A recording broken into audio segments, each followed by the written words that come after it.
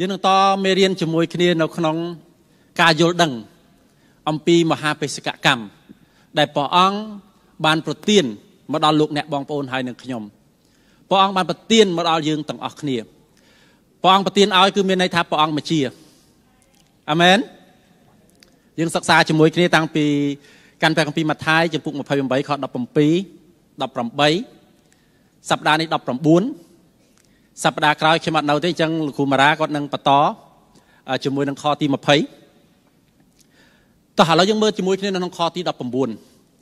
ក្នុងខទី19នេះគឺជាធាតមួយចំនួន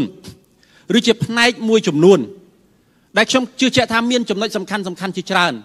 ដែលលោកអ្នកបងប្អូនហើយខ្ញុំត្រូវយល់ដឹង នៅពេលដែលព្រះអង្គបានបញ្ជាយើងឲ្យចេញទៅឲ្យប្រកាសសាសនៅក្នុងខទី19បានចែងថាដូច្នេះ ចូលចេញទៅសូមប្រាប់អ្នកចិត្តខាងរបស់យើងថាចេញទៅបាទតែមិនឥឡូវទេចូលចេញទៅនាំមនុស្សគ្រប់ជាតិសាសឲ្យធ្វើជាសាសហើយធ្វើពិធីជាមួយទឹកឲ្យគេក្នុងព្រះនាមព្រះព្រះបិតាព្រះព្រះបុត្រា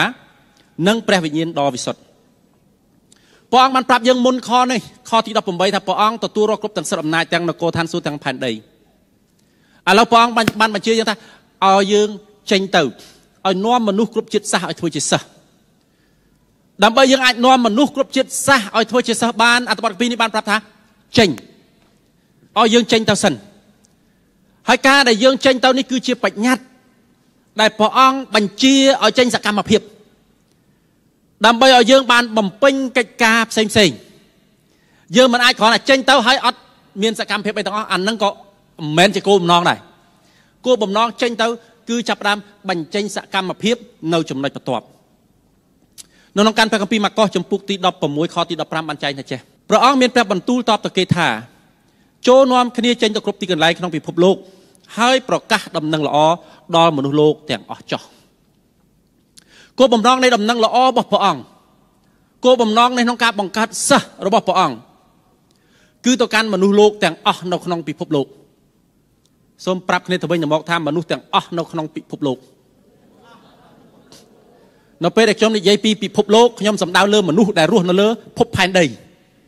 កុំឲ្យលោកអ្នកបងប្អូនមួយចំនួនឲ្យនិយមន័យពិភពលោកទៅកាន់មនុស្សតែមួយក្រុមណាបាទ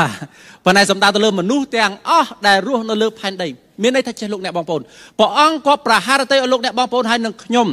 បង្កើតសិស្សជាមួយនឹងមនុស្សគ្រប់វណ្ណៈ ទោះបីជាវណ្ណៈណាក៏ដោយវណ្ណៈទាបវណ្ណៈកដាវណ្ណៈខ្ពស់ធនធានក្នុងវណ្ណៈណាក៏ដោយទ្រព្យសម្បត្តិនៅក្នុងវណ្ណៈណាក៏ដោយព្រះអង្គក៏ប្រហារតីឲ្យយើងប្រកាសសិស្សទាំងអស់មិនថាអ្នកដែលបម្រើការងារឲ្យអង្គភាពណាមួយមិនថាពលករ មិនថាអ្នកធ្វើការនៅក្នុងការិយាល័យមិនថាអ្នកគ្រប់ទាំងឋានៈគ្រប់ទាំងពណ៌សម្បុរគ្រប់ទាំងជាតិសាសន៍គ្រប់ទាំងភាសាព្រះអង្គក៏ប្រហារតីបញ្ជាឲ្យលោកអ្នកបងប្អូនហើយនឹងខ្ញុំ ស្ដាប់បញ្ញត្តិរបស់ព្រះអង្គហើយធ្វើកិច្ចការមួយនេះមិនមែនគ្រាន់តែធ្វើនៅកន្លែងដែលយើងចង់ធ្វើប៉ុន្តែធ្វើឲ្យហួសពីដែនដែលយើងគ្រាន់តែនៅ ព្រះអង្គក៏ប្រហារតីឲ្យយើងចេញទៅបើយើងចង់បង្កើតសិស្សហើយយើងអត់ចេញយើងអត់អាចទៅបានទេនៅក្នុងកិច្ចការចម្ពោះទី1ខ8ប៉ុន្តែអ្នករាល់គ្នានឹងទទួលបានរធានុភាពមួយគឺរធានុភាពនៃព្រះវិញ្ញាណដ៏វិសុទ្ធមកសន្ធិដ្ឋលើអ្នករាល់គ្នាអ្នករាល់គ្នានឹងធ្វើជាបន្តរបស់ខ្ញុំនៅក្នុងក្រុងយេរូសាឡឹមក្នុងស្រុកយូដាទាំងមូលក្នុងស្រុកសាម៉ារីនិងរហូតដល់ទីដាច់ស្រយាលនៃផែនដីព្រះអង្គក៏ប្រទើឲ្យយើងចាប់ផ្ដើមពីកន្លែងដែលយើងនៅបន្ទាប់មកទៅខាងខាង ទៅឆ្វេងទៅស្ដាំទៅមុខទៅក្រោយទៅគ្រប់ទិសទាំងអស់រហូតដល់ទីដាច់ស្រយាលនៃផែនដីលោកអ្នកបងប្អូនអរគ្នាខ្ញុំជឿថាចេះមិនមែនមនុស្សគ្រប់រូបព្រះអង្គត្រាស់ហៅយើងឲ្យផ្សាយនឹងល្អទៅដល់ទីដាច់ស្រយាលនៃផែនដីដោយយើងត្រូវជិះឡានជិះយន្តហោះឬធ្វើដំណើរតទៅឆ្ងាយនឹងបានហៅថាធ្វើបេសកកម្មមិនមែនទេ ខ្ញុំជឿជាក់ថាចេះលោកអ្នកបងប្អូននៅពេលដែលយើងនិយាយអំពីមហាបេសកកម្មគឺមានន័យថាលោកអ្នកបងប្អូនហើយនឹងខ្ញុំព្រះអង្គនឹងត្រាស់ហៅយើងឲ្យចេញពីកន្លែងដែលយើងនៅឈានមួយជំហានទៅកន្លែងបន្ទាប់ប្រសិនបើលោកអ្នកបងប្អូន ចង់នាំដំណឹងល្អលោកអ្នកបងប្អូនអាចចាប់ផ្ដើមពីក្រុមគ្រួសាររបស់លោកអ្នកបងប្អូនឈានជំហានទៅដល់មិត្តភ័ក្តិរបស់លោកអ្នកបងប្អូនឈានជំហានចេញពីសង្កាត់របស់លោកអ្នកបងប្អូនពីខណ្ឌរបស់លោកអ្នកបងប្អូន ទៅជំហានបន្ទាប់ហើយខ្ញុំជឿជាក់ថាអ្នកដែលនៅជំហានបន្ទាប់នោះព្រះអង្គក៏ត្រាស់ហៅគាត់ឲ្យចេញទៅមួយកន្លែងទៀតមួយជំហានបន្ទាប់ទៀតនៅពេលដែលសិស្សរបស់ព្រះអង្គធ្វើកិច្ចការនេះរួមគ្នាយើងនឹងទៅដល់ទីដាច់ស្រយាលនៃផែនដីអាមែននឹងលោកអ្នកបងប្អូនមួយចំនួនព្រះអង្គត្រាស់ហៅឲ្យយើងរើប្រទេសឬក៏ដោយសារការងារយើងត្រូវជំរុញឲ្យយើងរើទីតាំងទៅនៅប្រទេសផ្សេងទៅនៅស្រុកផ្សេង ខ្ញុំជឿជាក់ថាព្រះអង្គគាត់ប្រហារទៅយើងទៅដល់កន្លែងណាព្រះអង្គគាត់ប្រហារទៅយើងនាំដំណឹងល្អរបស់ព្រះអង្គទៅដល់ទីកន្លែងនោះគ្រប់គ្រប់គ្នាព្រះអង្គក៏ប្រហារទៅយើងម្នាក់ម្នាក់បានចូលរួមចំណែកនៅក្នុងមហាបេសកកម្មមួយនេះមហាបេសកកម្មមួយនេះមិនមែនសម្រាប់តែអ្នកដឹកនាំមហាបេសកកម្មមួយនេះមិនមែនសម្រាប់តែគ្រូកងវិលមហាបេសកកម្មនេះគឺសម្រាប់អ្នកជឿ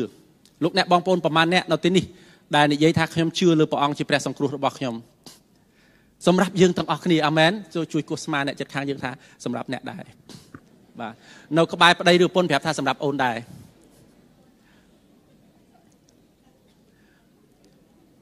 រ៉ូមចំពុកទី10ខ14និងខទី15បានចែងថាចេះប៉ុន្តែឲ្យគេស្វែងរកព្រះអង្គមិនដេចកើតបើគេមិនជឿឲ្យគេជឿលើព្រះអង្គមិនដេចកើតបើគេមិនដែលឮព្រះអង្គមានព្រះបន្ទូល ឲ្យគេឮមិនដេចកើតបើគ្មានអ្នកប្រកាសឲ្យមានអ្នកប្រកាសមិនដេចកើតបើគ្មានអ្នកដែលចាត់ឲ្យគេទៅប្រកាសផងនោះនៅក្នុងក្រុមជំនុំជីវិតថ្មីយើងមានក្រុមអ្នកដឹកនាំដែលយើងឲ្យចាត់ទៅហើយចេញទៅប្រកាសព្រះបន្ទូលនៅក្នុងក្រុមជំនុំជីវិតថ្មីយើងធ្វើការសហការជាមួយបងប្អូនដែលជាសមាជិកក្រុមជំនុំជីវិតថ្មីនៅក្នុងការរួមចំណែកទាំងអស់គ្នាឆ្លើយតបជាមួយនឹងបេសកកម្ម ពេលខ្លះយើងគុំគិតថាតលតែយើងទៅឆ្ងាយដាច់សញ្ញាពេកអានឹងបានដាច់សញ្ញាខ្លាំងបានយើងហៅថានឹងបេសកកម្មអត់ទេខ្ញុំចង់បង្ហាញរូបថតមួយចេញពីក្រុមកោសិកាមួយនៅចំចៅ2បាទសូមសូមបង្ហាញរូបថតតិចបាទនេះជាក្រុមកោសិកាមួយនៅនៅនៅចំចៅ2លោកអ្នកបងប្អូនប្រហែលអ្នកនៅតំបន់ចំចៅមានទេនៅទីនេះបាទឥឡូវខ្ញុំសូមសួរមកសំណួរទៀតលោកអ្នកបងប្អូនប្រហែលអ្នកដែលខ្ញុំអត់ដឹងវេនទី1ភាគច្រើនគាត់មកវេនទី1ប៉ុន្តែអ្នកខ្លះ អាចនឹងមកវេនទី2ដែរមានបងប្អូនប្រហែលអ្នកនៅទីនេះទៅជាសមាជិកក្រុមកោសិកានៅចំចៅ2មានទេបាទអូគាត់មកព្រឹកមិញខ្ញុំសួរព្រឹកមិញមកវេនទី1បាទអញ្ចឹងពួកគាត់មកវេនទី1ទាំងអស់គ្នាយើងមិនមែនមានក្រុមកោសិកានៅចំចៅតែមួយទេហើយក្រុមកោសិកានេះអ្នកគ្រូយ៉ានីលោកគ្រូសុធាទៅដឹកនាំផ្ទាល់នៅទីនោះហើយយើងក៏មានអ្នកដឹកនាំរបស់យើងនៅទីនោះដែលជាជំនួយការនៅក្នុងការដែលបន្តនាំនៅព្រះបន្ទូលរបស់ព្រះអង្គ ក្រុមជំនុំជីវិតថ្មីព្យាយាមនាំដំណឹងល្អទៅកាន់ផ្នែកផ្សេងផ្សេងនៅក្នុងទីក្រុងភ្នំពេញតាមរយៈក្រុមកោសិកាតាមរយៈពន្ធកិច្ចផ្សេងផ្សេងមិនមែនតាមមកភ្ជុបាយប៉ុន្តែច្រើនមកភ្ជុបាយនៅពេលដែលអ្នកដឹកនាំនៅពេលដែលបងប្អូនរួមជំនឿរបស់យើងបានរួបរวมគ្នាឆ្លើយតបការត្រាស់ហៅជាមួយគ្នានោះយើងនឹងនាំដំណឹងល្អអាចចេញពីស្ទឹងមានជ័យអាចចេញពីតំបន់ទួលសកែចេញទៅខណ្ឌបន្ទាប់ចេញទៅទៅទៅសង្កាត់បន្ទាប់ទៀត ខ្ញុំជឿជាក់ថាលោកអ្នកបងប្អូនទាំងអស់គ្នាមានមនុស្សជាច្រើននៅក្នុងទីក្រុងភ្នំពេញដែលអត់ទាន់បានមានឱកាសលើកដំណឹងល្អនៅឡើយប៉ុន្តែឲ្យយើងលឺមិនកើតបើអត់មានអ្នកណាដែលចាត់ឲ្យទៅលឺមិនកើតបើអត់មានអ្នកដែលរួមដំណើរជាមួយគ្នាដូច្នេះការឆ្លើយតបជាមួយបេសកកម្មគឺលោកអ្នកបងប្អូនហើយនឹងខ្ញុំជាមួយនឹងអ្នកដឹកនាំរបស់យើងទាំងអស់ព្រះអង្គក៏ប្រទៃឲ្យយើងរួមដំណើរជាមួយគ្នាឆ្លើយតបជាមួយគ្នាព្រះអង្គក៏ប្រហារតី ឲ្យលោកអ្នកបងប្អូនហើយនឹងខ្ញុំ ស្ដាប់បង្គាប់ព្រះអង្គតាមរយៈការដែលយើងចេញទៅហើយមានសកម្មភាពសកម្មភាពដែលនាំតំណែងល្អសកម្មភាពដែលនាំឲ្យយើងអាចបង្កើតសិស្សនៅក្នុងក្រុមកោសិកាយើងសិក្សាព្រះបន្ទូលព្រះអង្គជាមួយគ្នាយើងថ្វាយបង្គំព្រះអង្គជាមួយគ្នាយើងអធិដ្ឋានជាមួយគ្នាលើកទឹកចិត្តគ្នាទៅវិញទៅមកបងប្អូនដែលគាត់មានភាពស្និទ្ធស្នាលជាមួយគ្នាអាចលើកទឹកចិត្តគ្នាតាមរយៈផ្ដល់យោបល់ប្រឹក្សាផ្សេងផ្សេង ជួយគ្នាទៅវិញទៅមកនៅក្នុងគ្រាដែលលំបាកផ្សេងផ្សេងលោកអ្នកបងប្អូនយើងមាន60ជាងក្រុមបែបនេះនៅជុំវិញនៅក្នុងទីក្រុងភ្នំពេញសម្រាប់លោកអ្នកបងប្អូនដែលអត់ទាន់នៅក្នុងក្រុមកោសិកាលោកអ្នកបងប្អូនអាចចូលរួមចំណែកមួយនៅក្នុងនោះជាផ្នែកមួយក្នុងការដែលយើងទទួលការរីកចម្រើនឡើងខ្លួនឯងផងក៏ជាផ្នែកមួយទៀតដែលខ្ញុំជឿជាក់ថាយើងអាចរួមគ្នាហើយនាំដំណឹងល្អឆ្ពោះទៅមុខយើងត្រូវចេញទៅដើម្បីយើងឆ្លើយតបស្អីគេដែលធ្វើឲ្យយើងមិនចេញទៅ ជួនកាលភាពមមាញឹកពេកយើងមមាញឹកខ្លាំងពេកលោកអ្នកបងប្អូនប្រហែលអ្នកទូស្គាល់ថាយើងមាន24ម៉ោងដូចគ្នាបាទអ្នកណាក៏មានពេល24ម៉ោងដូចគ្នាដែរភាពមមាញឹករបស់យើងអាស្រ័យទៅលើការដែលយើងចាត់ចែងហើយរ៉ាប់រងពេលវេលារបស់យើងប្រសិនបើយើងអត់ញែកពេលដើម្បីនឹងចេញទៅ យើងនឹងមិនដែលមានពេលដើម្បីចេញទៅបើយើងមិនញែកពេលចេញទៅ លួសត្រាតែយើងសល់សំណល់ពេលវេលាសិនលោកអ្នកបងប្អូនយើងនឹងមិនដែលសល់ប្រសិនបើយើងមិនដាក់អត្តភាពដើម្បីនឹងចេញទៅ ពេលវេលារបស់យើងនឹងត្រូវធ្វើអីផ្សេងយើងអាចប្រកបមុខរបរយើងអាចធ្វើអីផ្សេងទៀតអ្នកខ្លះទៀតគាត់ត្រូវមើលហ្គេមបាទលេងហ្គេមអ្នកខ្លះទៀតបើយើងមិនដាក់អត្តភាពទេអត្តភាពនឹងអាចធ្លាក់ទៅមើលតាមដានរឿងភាគឥឡូវខ្ញុំឃើញគេមានអាស្អីគេរឿងភាគ គេមើលមិនមែនមើលរឿងភាគឯងគេមើលម្នាក់ទៀតម្នាក់ទៀតជួយសង្ខេបរឿងភាគឲ្យគេទៀតខ្ញុំអត់ដែរយល់ខ្ញុំតែដឹងថាមានអានឹងដែរខ្ញុំចេះឆ្ងល់មិនបាទគេមើលរឿងភាគឲ្យឃើញមានម្នាក់នឹងនិយាយរហូតចឹងតាមពិតបានថាអូម្នាក់នឹងជួយសង្ខេបរឿងភាគគេអត់ចាំបាច់មើល100ភាគទេគេមើលតែម្នាក់នឹងតែ3 4នាទីគឺគេយល់អស់លីងប៉ុន្តែ3 4នាទីក្រោយមើលមួយភាគមួយភាគមួយភាគមួយភាគមួយភាគមួយភាគ2ម៉ោងកន្លងផុតទៅយ៉ាងងាយស្រួលជាទីបំផុត យើងបាត់បង់ពេលវេលា យើងបាត់បង់អ្វីមួយយ៉ាង ដែលតាមពិតជាការឆ្លើយតបជាមួយនឹងបញ្ញាត់របស់ព្រះអង្គតែយើងអត់បានឆ្លើយតបយើងអាចនឹងរវល់ជាមួយនឹងកិច្ចការដតីផ្សេងទៀតមានកិច្ចការខ្លះជាកិច្ចការល្អប៉ុន្តែកុំភ្លេចព្រះមានប្រាប់បន្ទូលថាឲ្យយើងញែកពេលសបាត់កុំឲ្យយើងរវល់ពេករហូតដល់យើងបាត់បង់អ្វីៗទាំងអស់បាត់បង់ទាំងសុខភាពខ្លួនឯង បាត់បង់ទាំងក្រុមគ្រួសារខ្លួនឯងសូម្បីតែឱកាសក្នុងការនាំដំណឹងល្អមកកាន់គ្រួសារខ្លួនឯងអត់មានឱកាសសូម្បីតែឱកាសនាំកូនខ្លួនឯងដើម្បីមកស្គាល់ព្រះអង្គក៏អត់មានឱកាសនាំក្រុមគ្រួសារដើម្បីមកស្គាល់ក្រុមជំនុំក៏អត់មានឱកាសដោយភាពមមាញឹកខ្លាំងពេកខណៈពេលដែលព្រះអង្គមាន5ទូថាចេះសិស្សដែលធ្វើការជាមួយនឹងព្រះអង្គព្រះអង្គក៏ប្រតិឲ្យគេធ្វើការជាមួយព្រះអង្គដោយរទ្ធានុភាពរបស់ព្រះអង្គ លោកអ្នកបងប្អូននៅពេលដែលយើងឆ្លើយតបបេសកកម្មរបស់ព្រះអង្គមិនមែនជាបន្ទុកប៉ុន្តែតាមការពិត ជាឯកសិទ្ធិពិសេសជាឱកាសពិសេសដែលព្រះអង្គក៏បហាទៅសម្ដែងការអស្ចារ្យរិទ្ធបារិហារបស់ព្រះអង្គនៅក្នុងជីវិតរបស់យើងនិងតាមរយៈជីវិតរបស់យើងទៅដល់អ្នកដទៃដែរព្រះអង្គចង់ធ្វើកិច្ចការជាច្រើនក្នុងជីវិតរបស់យើងប៉ុន្តែពេលខ្លះយើងអត់អាចចេញទៅបានដោយសារយើងអត់មានពេលយើងអស់ពេលពេលរបស់យើងបានញែកទៅកាន់ស្អីផ្សេងផ្សេងទៀតជាច្រើនដែលកើតឡើងនៅជុំវិញជីវិតរបស់យើង មានរឿងជាច្រើនមានរឿងខ្លះជាឱកាសនៅក្នុងការដែលយើងចូលរួមក្នុងកម្មវិធីមួយអស់ពីកម្មវិធីមួយនឹងនឹងមានឱកាសថ្មីមួយទៀតនៅក្នុងកម្មវិធីមួយអស់ពីកន្លែងមួយគេមានឱកាសនៅកន្លែងមួយផ្សេងទៀតមានរឿងជាច្រើនប៉ុន្តែសំណួរសួរថាតើស្អីគេជាអត្តភាពដើម្បីអាចជួយយើងឲ្យចេញទៅបានមានលោកអ្នកបងប្អូនមួយចំនួនប្រហែលជាគាត់ចេញទៅប៉ុន្តែគាត់មិនមែនចេញឆ្ងាយពីផ្ទះគាត់ទេ ប៉ុន្តែគាត់ចេញពីភាពមមាញឹករបស់គាត់ហើយបើកផ្ទះរបស់គាត់ដើម្បីស្វាគមន៍បងប្អូនដទៃផ្សេងទៀតនៅក្នុងក្រុមជំនុំដើម្បីអាចជួបជុំជាក្រុមកោសិកានៅផ្ទះគាត់បានលោកអ្នកបងប្អូនការនេះក៏ខ្ញុំរាប់ថាជាពេលដែលគាត់ចេញទៅដែរហេតុអីបានខ្ញុំតារាប់ថាជាជាការចេញទៅដែរលោកគ្រូក៏អត់មានតណាចេញពីផ្ទះរបស់គាត់ផងគាត់ចេញពីពេលវេលាមមាញឹករបស់គាត់គាត់ញែកពេលវេលាដ៏មមាញឹករបស់គាត់ពេលវេលាដ៏មានតម្លៃរបស់គាត់ដើម្បីដាក់ អត្តភាពដើម្បីបកកបរិយាកាសឲ្យបងប្អូនដតីផ្សេងទៀតទាំងអ្នកដែលស្គាល់ព្រះអង្គហើយនិងអ្នកអត់ទាន់ដែលស្គាល់ព្រះអង្គនៅឡើយអ្នកដែលធ្លាប់ឮព្រះបន្ទូលព្រះអង្គហើយអ្នកដែលអត់ដែលទាន់ឮព្រះបន្ទូលព្រះអង្គដែលមិត្តភ័ក្តិរបស់គាត់អញ្ជើញមកដើម្បីជួបជុំគ្នាក្នុងក្រុមកោសិកាមួយនោះដើម្បីឲ្យគាត់បានមានឱកាសថ្វាយគុំព្រះអង្គរួមគ្នាដើម្បីឲ្យគាត់បានមានឱកាសឮពីព្រះបន្ទូលព្រះអង្គរួមគ្នាខ្ញុំរាប់ថានឹងគាត់ចេញទៅហើយ ពីព្រោះគាត់បានចេញពីពេលវេលាផ្ទាល់ខ្លួនរបស់គាត់គាត់ចេញពីភាពមមាញឹករបស់គាត់គាត់ញែកពេលដើម្បីធ្វើកិច្ចការទាំងអស់នេះដើម្បីឆ្លើយតបការត្រាស់ហៅដែលផងដាក់លោកអ្នកបងប្អូនមួយចំនួនប្រហែលនឹងចេញទៅដោយញែកពេលវេលានិងធនធានរបស់យើងផ្សេងផ្សេងទៀតដែរនៅក្នុងក្រុមកោសិកាមួយនៅ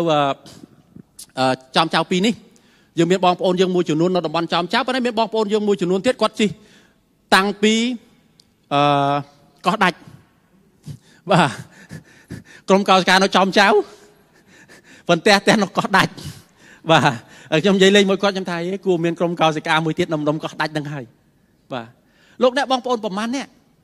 ដែលមានផ្ទះអត់ទាន់មានក្រុមកោសិកានៅឡើយប្រហែលជានៅតំបន់ព្រែកហូផ្នែកខាងផ្នែកខាងត្បូងនៃទីក្រុងភ្នំពេញឬនៅតំបន់ស្អីហួសពីចកាដូងទៅនេះទៅដល់កន្លែងវងមូលគួស្រូវបាទ ឬនំដុំតាខ្មៅបើយើងមានទំនាក់ទំនងជាមួយនឹងអ្នកដឹកនាំក្នុងក្រុមជំនុំជីវិតថ្មីយើងចង់នាំដំណឹងល្អទៅទិសខាងនឹងថែមទៀតដែរលោកអ្នកបងប្អូននៅពេលដែលយើងឆ្លើយតបការត្រាស់ហៅរបស់ព្រះអង្គយើងនឹងដាក់អត្តភាពយើងនឹងញែកពេល ទី1ដើម្បីខ្លួនឯងយើង ទី2អនុញ្ញាតឲ្យព្រះអង្គជួយយើងដើម្បីឲ្យយើងអាចជួយដល់អ្នកដទៃបានដែរអាមែនប៉ុនជំហានដំបូងយើងត្រូវចេញ ជំហានដំបូងយើងត្រូវឆ្លើយតបជាមួយព្រះអង្គយើងចេញទៅគឺចេញទៅដើម្បីបង្កើតសិស្ស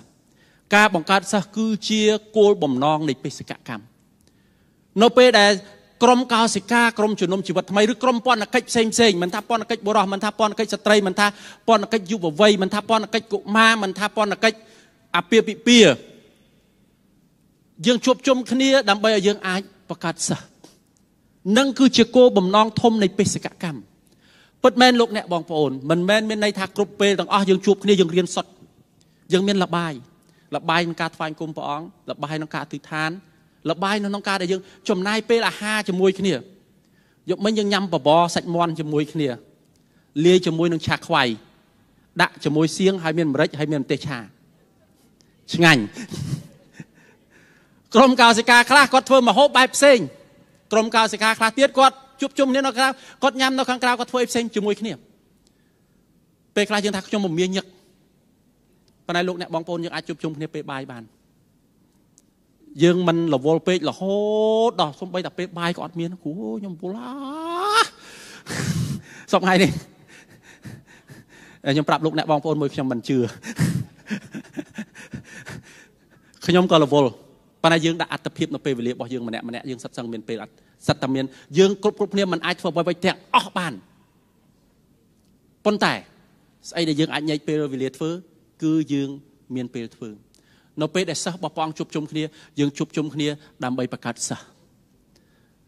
ព្រះអង្គឲ្យយើងបង្កើតសិស្សរបស់ព្រះអង្គសូមស្ដាប់ពីធីម៉ូថេចំពុក2ខទី2បានចែងថាសេចក្តីទាំងអស់ ដែលអ្នកបានឮពីខ្ញុំនៅមុខសាកសីជាច្រើនត្រូវប្រគល់ឲ្យបងប្អូនណាដែលស្មោះត្រង់និងមានសមត្ថភាពអាចបង្រៀនបន្តទៅកាន់អ្នកផ្សេងចុះព្រះអង្គក៏ប្រហាទៅលោកអ្នកបងប្អូនហើយនឹងខ្ញុំคล้ายទៅជាអ្នកដែលបង្រៀនបន្តការបង្កើតសិស្សគឺមានន័យថាយើងបង្រៀនបន្តបង្រៀនទាំងព្រះបន្ទូលបន្តបង្រៀនទាំងអរិយាប័ត្រនៅក្នុងការស្ដាប់បង្គាប់ព្រះបន្ទូលព្រះអង្គបន្តបង្រៀនទាំងរបៀបក្នុងការបង្កើតសិស្សបន្តការដែលបង្រៀនបន្តមិនមែនគ្រាន់តែ យើងបរៀនតាមមុខប៉ុន្តែយើងរួមដំណើរជាមួយគ្នាយើងជួយគ្នាទៅវិញទៅមកដើម្បីឲ្យអាចចេះបង្រៀនបន្ត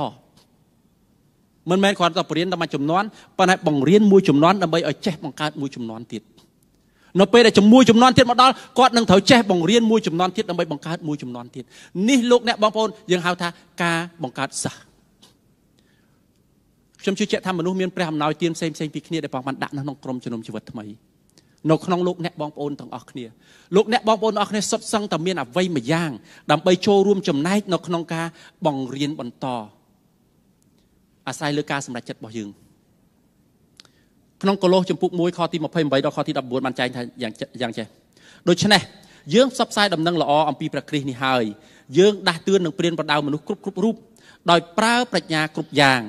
ដើម្បីឲ្យគេទាំងអស់គ្នាបានគ្រប់លក្ខណៈក្នុងអង្គព្រះគ្រីស្ទ ខកពីខ្លះ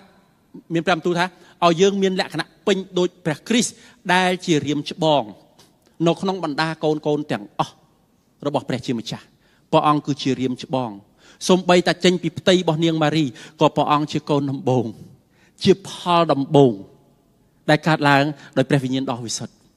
ហើយផលដំបូងនេះឯងដែលថ្វាយយ៉ាញ់បូជានៃផលដំបូងដើម្បីលួសមនុស្សទាំងអស់នៅលើផែនដីហើយផលដំបូងនេះ ខ្លាយទៅជាអ្នកដែលមានអំណាចទាំងនគរឋានសួគ៌ហើយនៅផែនដីហើយព្រះអង្គបានអនុញ្ញាតឲ្យលោកអ្នកបងប្អូនហើយនៅខ្ញុំចូលរួមចំណែកនៅក្នុងការបង្កើតសិស្សរបស់ព្រះអង្គអាមែន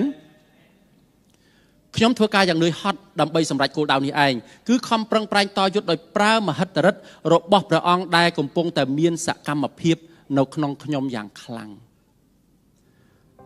អ្នកដែលគាត់បានសេសបុតនេះគាត់បានយល់យ៉ាងច្បាស់ថានៅពេលដែលគាត់បំរើដំណឹងល្អនៅពេលដែលគាត់បង្កើតសិស្សគាត់មិនមែនធ្វើដោយកម្លាំងខ្លួនឯងទេប៉ុន្តែគាត់យល់យ៉ាងច្បាស់ថាមានរធានុភាពរបស់ព្រះជាម្ចាស់ជួយជំរុញគាត់ដើម្បីបង្កើតសិស្សកុំឲ្យលោកអ្នកបងប្អូនហើយនៅខ្ញុំយល់ច្រឡំថាចេះការដែលយើងប្រើប្រាស់ពេលវេលារបស់យើងការយើងប្រើប្រាស់ធនធានរបស់យើងជាការដែលយើងខំប្រឹងប្រែងគ្រាន់តែស្ដាប់ប្រកបព្រះអង្គពិតមែនក្នុងអត្ថបទ2នេះប្រែបានប្រាប់យើងថា ខ្ញុំប្រឹងប្រែងយ៉ាងនឿយហត់ខ្ញុំលះបង់យ៉ាងនឿយហត់ប៉ុន្តែខ្ញុំដឹងយ៉ាងច្បាស់ថាខ្ញុំធ្វើកិច្ចការនេះរួមជាមួយមហិទ្ធិឫទ្ធិរបស់ព្រះអង្គរួមជាមួយនឹងអំណាចរបស់ព្រះអង្គមានន័យថាខណៈពេលដែលលោកអ្នកបងប្អូនហើយនឹងខ្ញុំកំពុងតែធ្វើឫទ្ធានុភាពរបស់ព្រះអង្គគង់នៅជាមួយដើម្បីធ្វើលោកអ្នកបងប្អូនមិនមែនបង្កើតសិស្សរបស់ព្រះអង្គតែម្នាក់ឯងទេបើយើងបង្កើតសិស្សព្រះអង្គតែម្នាក់ឯងយើងនឹងក្លាយទៅជាសិស្សរបស់យើងតែបើយើងបង្កើតរួមជាមួយព្រះអង្គនឹងក្លាយទៅជារបស់ព្រះអង្គ ហើយព្រះវិញ្ញាណដ៏សុទ្ធគាត់ប្រហារតីបង្កើតសិស្សរួមជាមួយលោកអ្នកបងប្អូនទាំងអស់គ្នាអាមែនព្រះយេស៊ូវគ្រីស្ទព្រះអង្គប្រសូតនៅក្នុងផ្ទៃរបស់នាងម៉ារីជាស្ត្រីកំមុំព្រហ្មចារីប៉ុន្តែដោយឫទ្ធានុភាពនៃព្រះវិញ្ញាណដ៏សុទ្ធព្រះអង្គជាមនុស្ស100%ព្រះអង្គជាព្រះ100%ពេលដែលព្រះអង្គរួមជាមួយនឹងយើងដើម្បីបង្កើតសិស្សរបស់ព្រះអង្គមានន័យថាសិស្សរបស់ព្រះអង្គកើតមកចេញមកកាត់ដូចព្រះអង្គហើយព្រះអង្គក៏ប្រហាតីធ្វើ ព្រះអង្គមិនក៏ប្រហាតីឲ្យយើងធ្វើតែម្នាក់ឯងប្រឹងដោយប្រើកម្លាំងម្នាក់ឯងប្រើធនធានម្នាក់ឯងពិតមែនយើងប្រឹងយើងប្រើប្រាជ្ញាឲ្យអស់ពីសមត្ថភាពរបស់យើងប៉ុន្តែព្រះអង្គជាអ្នកដែល back up ព្រះអង្គជាអ្នកដែលនៅពីក្រោយខ្នងព្រះអង្គជាអ្នកដែលចាំជួយជំរុញពីក្រោយទីតោះចំពុក2ខទី3ដល់ខទី5រីឯលោកយាយចាស់ចាស់វិញក៏ដូចនោះដែរលោកយាយលោកយាយសុំលើកដៃ ខ្ញុំដឹងថាទោះបីអ្នកខ្លះគាត់ទទួលស្គាល់ថាភាពជាយាយអ្នកខ្លះមិនទទួលស្គាល់ក៏អត់អីដែរប៉ុន្តែសុំលើកដៃឲ្យតែជាយាយបាទបាទឲ្យតែជាយាយសុំលើកដៃបាទលោកយាយលោកយាយបាទរីឯលោកយាយចាស់ចាស់តាមពិតឲ្យតែលោកយាយចំណាស់ហើយបាទចូលជំរាបគាត់ឲ្យកាន់កាប់កិរិយាមេយាទសំជាអ្នកដែលមានជីវិតដ៏វិសុទ្ធកុំឲ្យនិយាយមួលបង្កាច់គេ ឬចំណូលស្រាឡើយ បាទលោកយាយលោកយាយហាមចំណូលស្រាបាទបាទអ្នកចំណូលមានន័យថាផឹកជ្រុលបាទអាសាផឹកបាទផឹកទៅវាចេញរឿងអីផ្សេងគាត់ត្រូវចេះផ្ដល់យោបល់ល្អល្អហើយលោកតាកុំថារួចខ្លួននៅឡើយតិចទៀតខ្ញុំត្រឡប់មកកាន់លោកតាវិញណាបាទឥឡូវខ្ញុំសូមនិយាយកាន់លោកយាយមុនសិនគាត់ត្រូវចេះផ្ដល់យោបល់ល្អល្អដើម្បីជួយអប់រំស្ត្រីស្ត្រីដែលនៅក្មេងឲ្យចេះស្រឡាញ់ ស្វាមីនិងស្រឡាញ់កូនរបស់ខ្លួនឲ្យមានចិត្តធ្ងន់និងមានចរិយាចរិយាបរិសុទ្ធយកចិត្តទុកដាក់នឹងកិច្ចការនៅក្នុងផ្ទះសម្បែងនិងមានចិត្តល្អគោរពចោះចូលស្វាមីរៀងរៀងខ្លួនធ្វើដូច្នេះគ្មាននរណាអាចមួលបង្កាច់ព្រះបន្ទូលរបស់ព្រះជាម្ចាស់ឡើយព្រះអង្គក៏ប្រហារតីឲ្យលោកយាយចាស់ចាស់ឲ្យរៀមច្បងស្ត្រីស្ត្រីស្ត្រីស្ត្រីដែលមានជំនឿដើមមុន ស្ត្រីស្ត្រីដែលរស់នៅដោយពឹងអាងលើព្រះបន្ទូលព្រះអង្គយកប័ណ្ណពិសោធន៍នោះដើម្បីបង្រៀនឲ្យអប់រំស្ត្រីវ័យក្មេង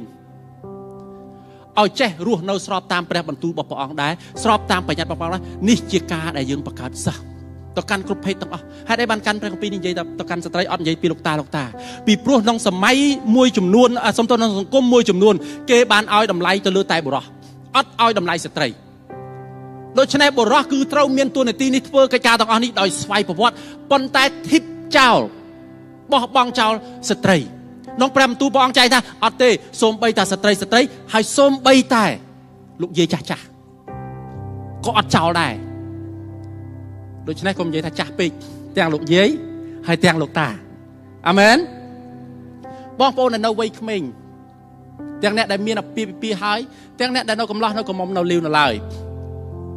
គួរតែផ្ដល់កិត្តិយសទៅដល់អ្នកដែលមានវ័យចំណាស់រៀមច្បងនៅក្នុងជំនឿដែលពេលដែលគាត់អប់រំយើងដែរអាមែនដែលស្របតាមព្រះបន្ទូលរបស់ព្រះអង្គចំណុចទី3ព្រះអង្គប្រាប់យើងឲ្យប្រកាសសិស្សហើយធ្វើពិធីជាមួយទឹកឲ្យទៅគេក្នុងនាមព្រះបិតាព្រះបុត្រានិងព្រះវិញ្ញាណដ៏វិសុទ្ធនៅក្នុងកាន់ព្រះគម្ពីរកិច្ចការចំពុក2ខទី38ដល់ខទី41 លោកពេត្រុសមានប្រសាសន៍ទៅកាន់គេថាសូមបងប្អូនកែប្រែចិត្តគំនិតឲ្យម្នាក់ម្នាក់ត្រូវទទួលពិធីជាមួយទឹកក្នុងព្រះនាមព្រះយេស៊ូវគ្រីស្ទទៅដើម្បីឲ្យព្រះជាម្ចាស់លើកលែងទោសឲ្យបងប្អូនរួចពីបាបហើយឲ្យបងប្អូននឹងទទួលព្រះវិញ្ញាណដ៏វិសុទ្ធដែលជាអំណោយទានរបស់ព្រះជាម្ចាស់ត្បិតបងត្បិតព្រះអង្គមានព្រះបន្ទូលសន្យានេះនៅចំពោះបងប្អូនទាំងអស់គ្នាចំពោះកូនចៅរបស់បងប្អូននិងចំពោះអ្នកដែលនៅឆ្ងាយឆ្ងាយទាំងប៉ុន្មានដែរ តាមតែព្រះអម្ចាស់ជាព្រះរបស់យើងត្រាស់ហៅលោកពេត្រុសបានបញ្យល់បញ្ជាក់និងដាស់តឿនពួកគេដោយពាក្យពេចន៍ជាច្រើនគឺលោកមានប្រសាសន៍ថាសូមបងប្អូនទទួលការសង្គ្រោះឲ្យរួចផុតពីមនុស្សអាក្រក់នៅសម័យនេះអស់អ្នកដែលបានយល់ព្រមទទួលពាក្យលោកក៏ទទួលពិធីជ្រមុជទឹកហើយនៅថ្ងៃនោះមានមនុស្សប្រមាណ3000អ្នកចូលរួមនៅក្នុងក្រុមសិស្សនៅពេលដែលសិស្សរបស់ព្រះអង្គរួមដំណើរជាមួយគ្នាហើយឃើញរដ្ឋានុភាព ឃើញកិច្ចការដែលព្រះវិញ្ញាណដ៏សុទ្ធធ្វើការនៅក្នុងជីវិតរបស់ពួកគេនឹងធ្វើឲ្យអ្នកដទៃទៀតចង់បានចង់ឃើញចង់ភ្លក់រសជាតិចង់ទទួលការសង្គ្រោះចង់ទទួលព្រះអំណោយទានដែលព្រះជាម្ចាស់មានសម្រាប់ពួកគេដែរនៅពេលដែលលោកអ្នកបងប្អូនហើយនឹងខ្ញុំរស់នៅដោយស្ដាប់បង្គាប់ព្រះអង្គព្រះអង្គនឹងបន្ថែមអ្នកផ្សេងទៀតចូលមកក្នុងចំណោមយើងព្រះអង្គមិនមែនបន្ថែមអ្នកជឿថ្មីចូលក្នុងចំណោមពួកគេ ដោយពឹងផ្អែកទៅលើអ្វីដែលនៅសម្បកក្រៅប៉ុន្តែព្រះអង្គបូកបន្ថែមអ្នកថ្មីចូលក្នុងចំណោមពួកគេដោយសារពួកសិស្សជ្រើសរើសរស់នៅក្នុងការស្ដាប់បង្គាប់ព្រះអង្គហើយពួកគេឃើញរដ្ឋាភិបាលរបស់ព្រះជាម្ចាស់នៅក្នុងចំណោមពួកសិស្សព្រះអង្គធ្វើការអស្ចារ្យព្រះអង្គសម្ដែងឫទ្ធិបាតិហានៅក្នុងជីវិតពួកសិស្សលោកអ្នកបងប្អូនព្រះអង្គក៏បហារតីធ្វើដដែលនៅក្នុងជីវិតរបស់លោកអ្នកបងប្អូនហើយនឹងខ្ញុំ លោកប៉ូលបានលោកពេត្រុសបានចាក់ប្រាប់ពួកគេថាទទួលពិធីជាមួយទឹកដើម្បីទទួលរទ្ធានុភាពទទួលអំណោយទានពីព្រះជាម្ចាស់មានគ្រាមួយទៀតនៅក្នុងកាន់ព្រះគម្ពីរដដែលគ្រាមួយមានមេតាហានរបស់ជនជាតិអេសូពីម្នាក់គាត់ជាអ្នកស្រឡាញ់ព្រះបន្ទូលព្រះអង្គក្រោយមកលោកពីលីប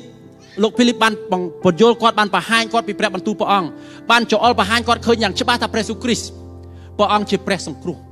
មន្ត្រីដែលស្រឡាញ់ព្រះជាម្ចាស់នោះចាប់ផ្ដើមស្វែងយល់ហើយគាត់ឃើញថា ព្រះស៊ូគ្រីស្ទពិតជាព្រះជាម្ចាស់ជាព្រះសង្គ្រោះគាត់ពិតជាចង់ទទួលហើយគាត់ចង់ទទួលពិធីជាមួយទឹកដើម្បីបញ្ជាក់នៅជំនឿរបស់គាត់ថាគាត់ពិតជាអ្នកដែលទទួលជឿលើព្រះជាម្ចាស់ហើយនឹងទទួលយាងព្រះម្ចាស់ព្រះស៊ូគ្រីស្ទធ្វើជាព្រះអង្គសង្គ្រោះក្នុងជីវិតរបស់គាត់គាត់ទៀមទាឲ្យលោកភីលីបបានធ្វើពិធីជាមួយទឹកឲ្យគាត់លោកភីលីបគាត់ថា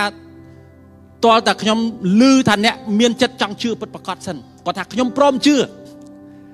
ជីអាតេះសេះបានមួយផ្លែត ឃើញមានបឹងមួយគាត់ថាឥឡូវទីនេះមានទឹកមើលតើមានអីគេដែលអាចខាត់ខ្ញុំមិនឲ្យទទួលព្រះអង្គធ្វើជាព្រះអង្គសង្គ្រោះលោកភេលីបបានធ្វើពិធីជាមួយទឹកឲ្យគាត់នៅថ្ងៃនោះរ៉ូមចំពុក6ខ3ដល់ខទី4តើបងប្អូនមិនជឿទេឬ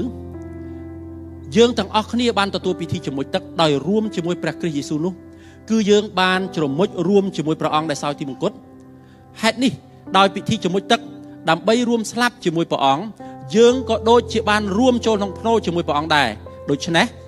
ព្រះគ្រីស្ទមានប្រជញ្ញរស់ឡើងវិញដោយសេរីដោយសារសេរីរុងរឿងរបស់ព្រះបិតាយ៉ាងណា យើងក៏រស់នៅក្នុងរបៀបថ្មីយ៉ាងនោះដែរនៅពេលដែលយើងទទួលពិធីជាមួយទឹកជានិមិត្តសញ្ញាមួយ ដែលបញ្ជាក់ទៅកាន់សាធារណជន ដែលបញ្ជាក់ទៅកាន់ព្រះជាម្ចាស់ដែលបញ្ជាក់ទៅកាន់ព្រះវិញ្ញាណដ៏បរិសុទ្ធពីការសម្រេចចិត្ត របស់យើងម្នាក់ម្នាក់ថាខ្ញុំជ្រើសរើសសម្រេចចិត្តទទួលពិធីជាមួយទឹកខ្ញុំសម្រេចចិត្តថាកប់ជីវិតចាស់របស់ខ្ញុំចោលជីវិតចាស់របស់ខ្ញុំចោលរបៀបចាស់របស់ខ្ញុំហើយខ្ញុំនឹងរស់នៅតាមរបៀបដែលថ្មីស្របតាមការណែនាំនៃព្រះវិញ្ញាណដ៏វិសុទ្ធហើយក្នុងអត្ថបទ2នេះបានចែងថាចេះសូមចាំយើងរួមពិធីជាមួយទឹកយើងរួមស្លាប់ជាមួយព្រះអង្គប៉ុន្តែក៏យើងរួមរស់ឡើងវិញជាមួយព្រះអង្គដែរហើយមើលពេលដែលព្រះអង្គមានបញ្ជនរស់ឡើងវិញ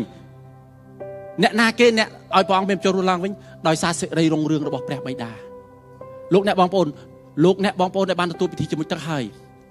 ជានិមិត្តសញ្ញាមួយដែលលោកអ្នកបងប្អូនបានបង្ហាញទៅកាន់បងប្អូនយើងដទៃផ្សេងទៀតរួចហើយថាខ្ញុំជ្រើសរើសរស់នៅក្នុងរបៀបថ្មីប្រសិនបើលោកអ្នកបងប្អូនទទួលពិធីជាមួយទឹកហើយខ្ញុំសូមសួរតិចបានទេលោកអ្នកបងប្អូនប្រមាណអ្នកបានទទួលពិធីមួយទឹកក្នុងឆ្នាំ2023 2023បាទអរគុណអរគុណ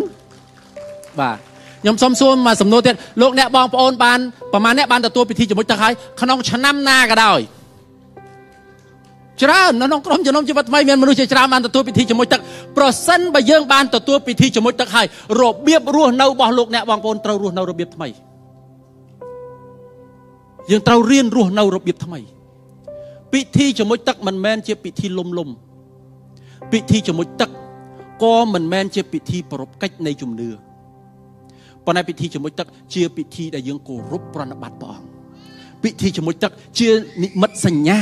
ដែលយើងមិនមែនគ្រាន់តែប្រាប់អ្នកដែលឃើញយើងពិធីជាមួយទឹកឲ្យផ្ទះដៃប៉ុន្តែពិធីជាមួយទឹកជានិមិត្តសញ្ញាទៅកាន់ព្រះជាម្ចាស់បង្ហាញពីការបដិញ្ញាចិត្តរបស់លោកអ្នកបងប្អូនទាំងអស់គ្នាអញ្ចឹងបានជាក្នុងក្រុមជំនុំជីវិតថ្មីមុននឹងយើងធ្វើពិធីជាមួយទឹកឲ្យបងប្អូនរួមជំនឿនៅក្នុងគ្រួសារជីវិតថ្មីយើងសូមឲ្យគាត់រៀនសិន សិក្សាព្រះបន្ទូលព្រះអង្គសិនដើម្បីឲ្យគាត់ស្វែងយល់កាន់តែច្បាស់ដើម្បីគាត់បានសម្រេចចិត្តកាន់តែច្បាស់មុននឹងទទួលពិធីជាមួយទឹកក្រុមជំនុំជីវិតថ្មីក៏ធ្វើពិធីជាមួយទឹកឲ្យបងប្អូនមួយចំនួនដែលគាត់ជឿព្រះអង្គយូរហើយតែអត់ដែលទាន់មានឱកាសធ្វើពិធីជាមួយទឹកនៅឡើយយើងក៏ធ្វើពិធីជាមួយទឹកជូនគាត់ដែរប៉ុន្តែលោកអ្នកបងប្អូនអត្តបទព្រះបន្ទូលព្រះអង្គចែងថាពេលដែលយើងងើបចេញពីទឹកយើងទទួលព្រះអំណោយទានពីព្រះជាម្ចាស់ មានអ្វីមួយយ៉ាងថ្មីថែមទៀតនៅក្នុងជីវិតរបស់លោកអ្នកបងប្អូនហើយនៅខ្ញុំនៅពេលដែលយើងសម្រេចចិត្តដូច្នេះនៅពេលដែលយើងចេញទៅហើយយើងបង្កើតសិស្សយើងបង្កើតសិស្សយើងជួយគេឲ្យស្វែងយល់នៅព្រះបន្ទូលព្រះអង្គរហូតដួងចិត្តរបស់គេនិយាយថាបើមានទឹកហើយមានអីគេដែលខាត់ខ្ញុំមិនឲ្យសម្រេចចិត្តរស់នៅតាមរបៀបថ្មីស្របតាមព្រះបន្ទូលរបស់ព្រះអង្គការបង្កើតសិស្សគឺជាដំណើរនៃជីវិតរបស់យើងរួមគ្នា ការបង្កើតសិស្សមិនមែនគ្រាន់តែរៀនមួយថ្នាក់ពីរថ្នាក់ចប់ ប៉ុន្តែយើងធ្វើដំណើរជាមួយគ្នាយើងជួយគ្នាទៅវិញទៅមកបានរីកចម្រើនឡើងដល់លក្ខណៈនៃព្រះគ្រីស្ទដែលជារៀមច្បងខ្ញុំសូមលោកអ្នកបងប្អូនបានក្រោកឈរឡើង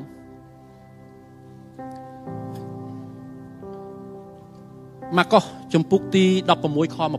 20ពួកសិស្សនាំគ្នាចេញទៅប្រកាសដំណឹងល្អនៅគ្រប់ទីកន្លែងព្រះអង្គម្ចាស់ធ្វើការរួមជាមួយគេសូមស្ដាប់ទាំងបញ្ជាក់ព្រះបន្ទូល ដោយសម្ដែងទីសម្គាល់ផ្សេងផ្សេងជាប់ជាមួយផងព្រះអង្គធ្វើដំណើររួមមួយគេពេលលោកអ្នកបងប្អូនចេញទៅឲ្យប្រកាសសិស្សពេលលោកអ្នកបងប្អូនញែកពេលដើម្បីទៅបង្រៀនអ្នកដតីពេលលោកអ្នកបងប្អូនញែកផ្ទះដើម្បីស្វាគមន៍បងប្អូនរួមជំនឿដើម្បីជួបជុំគ្នាសិក្សាព្រះបន្ទូលព្រះអង្គលោកអ្នកបងប្អូនកំពុងតែចេញពីពេលវេលាផ្ទាល់ខ្លួនឈ្មោះផ្ដល់ពេលវេលាមួយដើម្បីចូលរួមចំណែកក្នុងការបង្កើតសិស្ស លោកអ្នកបងប្អូនមិនមែនធ្វើម្នាក់ឯងទេអាមែនហើយខ្ញុំរាប់ថានេះគឺជាដំណឹងល្អបើយើងធ្វើម្នាក់ឯងយើងនឹងហត់យើងនឹងដាច់ធនធាន យើងនឹងអស់កម្លាំងយើងនឹងអត់មានអីបញ្ឆេះយើងពីខាងក្នុងប៉ុន្តែនៅពេលដែលយើងធ្វើរួមជាមួយព្រះអង្គមានអ្វីមួយយ៉ាងជួយបញ្ឆេះយើងពីខាងក្នុងមានអ្វីមួយយ៉ាងជួយផ្គត់ផ្គង់យើងមកពីពិភពខាងក្រៅផ្សេងផ្សេងមានអ្វីមួយយ៉ាងដែលធ្វើឲ្យយើងមានអំណរសប្បាយ ដោយសារព្រះអង្គជាអ្នកដែលធ្វើការរួមជាមួយលោកអ្នកបងប្អូនព្រះអង្គក៏ចង់បញ្ជាក់ព្រះបន្ទូលព្រះអង្គថាព្រះបន្ទូលព្រះអង្គជាសេចក្តីពិតព្រះបន្ទូលព្រះអង្គមានរដ្ឋាភិបាលតាមរយៈព្រះអង្គនឹងធ្វើការអស្ចារ្យផ្សេងផ្សេងដើម្បីបញ្ជាក់ព្រះបន្ទូលព្រះអង្គព្រះអង្គធ្វើការតាមរយៈលោកអ្នកបងប្អូនហើយនឹងខ្ញុំមិនមែនឲ្យយើងដើរណែខ្ញុំខ្ញុំពេញហ្មងព្រះវិញ្ញាណអបសុតមែនទេ មែនទេព្រះអង្គធ្វើការនៅក្នុងជីវិតលោកអ្នកបងប្អូនដោយសារលោកអ្នកបងប្អូនជ្រើសរើសប្រណិប័តឲ្យអនុញ្ញាតឲ្យព្រះអង្គធ្វើការតាមរយៈអាមែនដើម្បីព្រះអង្គបញ្ជាក់ព្រះបន្ទូលដែលលោកអ្នកបងប្អូនកំពុងបម្រើដើម្បីបញ្ជាក់ទៅកាន់មនុស្សមួយចំនួនទៀតដែលលោកអ្នកបងប្អូនកំពុងតែជួយគេឲ្យខ្លាយទៅជាសិស្សព្រះអង្គពេញវ័យដើម្បីឲ្យលោកអ្នកបងប្អូនអាចធ្វើកិច្ចការទាំងអស់នេះកើតព្រះអង្គនឹងជួយជំរុញលោកអ្នកបងប្អូនកុំយល់ច្រឡំឲ្យសោះថាទួនាទីប្រកាសសិស្សខ្ញុំធ្វើតែម្នាក់ឯង អត់ទេយើងធ្វើជាមួយបងប្អូនរួមជំនឿរបស់យើងហើយយើងធ្វើរួមជាមួយនឹងព្រះជាម្ចាស់ដែរសូមផ្ទះដៃសរសើររំខានព្រះអង្គខ្ញុំរាប់ថានេះជាដំណឹងល្អខ្ញុំរាប់នេះថានេះជាដំណឹងល្អខ្ញុំអរគុណព្រះអង្គសម្រាប់កិត្តិយសខ្ញុំអរគុណព្រះអង្គសម្រាប់ឯកសិទ្ធិនៅក្នុងការដឹកនាំលោកអ្នកបងប្អូនទាំងអស់គ្នារួមដំណើរជាមួយគ្នាឲ្យមនុស្សជួបនៅក្នុង ព្រះមនុស្សជួបជាមួយនឹងប្រវត្តិមានព្រះអង្គលោកអ្នកបងប្អូនជួបជាមួយប្រវត្តិមានព្រះអង្គទទួលការប៉ះពាល់មួយព្រះអង្គតាមរយៈការយើងបង្កើតទៅជាសហគមន៍ផ្សេងផ្សេងប៉ុន្តែខ្ញុំមិនធ្វើម្នាក់ឯងទេខ្ញុំធ្វើជាមួយនឹងបងប្អូនរួមជំនឿខ្ញុំធ្វើជាមួយនឹងអភិបាលរបស់ក្រុមជំនុំជីវិតថ្មីយើងធ្វើជាមួយអ្នកដឹកនាំក្រុមជំនុំជីវិតថ្មីយើងធ្វើកិច្ចការនេះរួមគ្នាព្រះអង្គបំពេញកិច្ចការទាំងអស់នេះនៅក្នុងប្រជារាស្ត្ររបស់ព្រះអង្គគ្រប់គ្រប់គ្នា កុំឲ្យយើងបាក់ទឹកចិត្តហើយកុំឲ្យយើងអស់កម្លាំងហើយកុំឲ្យយើងឆ្ងល់ប៉ុន្តែយើងអាចទុកចិត្តព្រះអង្គនៅក្នុងគ្រប់រដូវកាលនៅក្នុងគ្រប់ពេលវេលារបស់យើងទាំងអស់អាមែនខខ្ញុំជឿក្រុមជំនុំជីវិតថ្មីយើងជឿថាការរស់នៅដោយឃើញទីសម្គាល់ការអស្ចារ្យរិទ្ធបាដិហារបស់ព្រះជាម្ចាស់គឺជាកិច្ចការដែលព្រះអង្គក៏ប្រហាតីធ្វើនៅក្នុងសម័យបច្ចុប្បន្នកាលដដែលក្រុមជំនុំជីវិតថ្មីជឿថាការអស្ចារ្យរិទ្ធបាដិហាមិនមែនកើតឡើងតែនៅចំនួនមុននោះឡើយ ប៉ុន្តែកើតឡើងនៅក្នុងចំនួននេះដែរបិតានៃទូបង្គំព្រះម្ចាស់គុណអរប្រគុណទ្រង់ព្រះម្ចាស់ហើយបងឲ្យគុណអរប្រគុណព្រះអង្គសម្រាប់ការអស្ចារ្យនិងរិទ្ធបាដិហាដែលព្រះអង្គធ្វើនៅក្នុងជីវិតរបស់យើងទាំងអស់គ្នាព្រះម្ចាស់ហើយបិតានៃទូបង្គំគុណដឹងថាបញ្ញត្តិរបស់ព្រះអង្គបញ្ជាឲ្យកូនអរគ្នាចេញទៅបង្កើតសិស្សជាមួយមនុស្សគ្រប់ជាតិសាសឲ្យធ្វើពិធីជាមួយទៅគេក្នុងនាមព្រះបិតាព្រះបុត្រានិងព្រះវិញ្ញាណដ៏អបសុទ្ធព្រះអង្គសូមជួយកូនទាំងអស់គ្នាឲ្យរៀនរស់នៅហើយអាចបំពេញបេសកកម្មនេះ តាមរបៀបដែលព្រះអង្គត្រាស់ហៅកូនម្នាក់ម្នាក់ឲ្យធ្វើប្រមម្ចាស់គុណអរប្រគុណទ្រង់ហើយកូនអធិដ្ឋាននៅក្នុងព្រះនាមប្រមម្ចាស់ព្រះយេស៊ូវគ្រីស្ទអាមែន ហើយខ្ញុំសង្ឃឹមថាព្រះបន្ទូលនៅថ្ងៃនេះពិតជាលើកទឹកចិត្តនិងផ្ដល់កម្លាំងទៅដល់លោកអ្នកបងប្អូនទាំងអស់គ្នាឲ្យប្រសិនបើលោកអ្នកបងប្អូនទាំងអស់គ្នាមានអារម្មណ៍ថាព្រះអង្គបានប៉ះពាល់ចិត្តដើម្បីចូលរួមចំណែកនៅក្នុងការគ្រប់គ្រងតាមរយៈការថ្វាយចូលមកក្នុងក្រុមជំនុំជីវិតថ្មីដើម្បីចូលរួមគ្រប់គ្រងកិច្ចការដែលក្រុមជំនុំជីវិតថ្មីធ្វើនៅក្នុងការផ្សាយនឹងល្អបង្កើតសិស្សនិងដាំក្រុមជំនុំលោកអ្នកបងប្អូនអាចចូលរួមជាមួយនឹងក្រុមជំនុំជីវិតថ្មីសូមព្រះជាម្ចាស់ប្រទានពរ